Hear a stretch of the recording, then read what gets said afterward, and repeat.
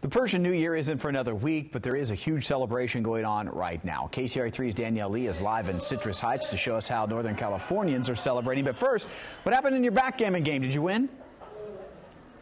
Chris, I don't know about that. We didn't actually get to finish the backgammon game before I got distracted and came in here and started looking around. I mean, look at this. This is quite the party. Close to 2,000 people here celebrating the Persian New Year, Nowruz.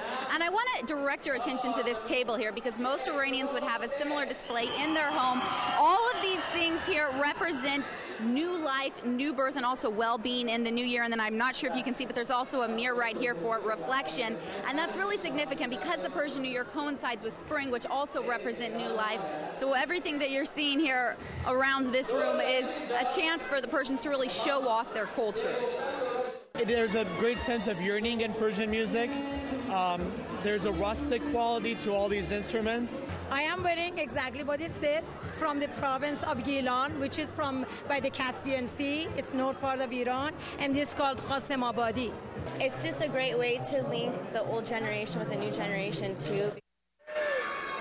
And Chris, I wouldn't be doing this festival justice if I didn't talk about the food here because it is amazing. And this is a soup that they traditionally eat right at the new year.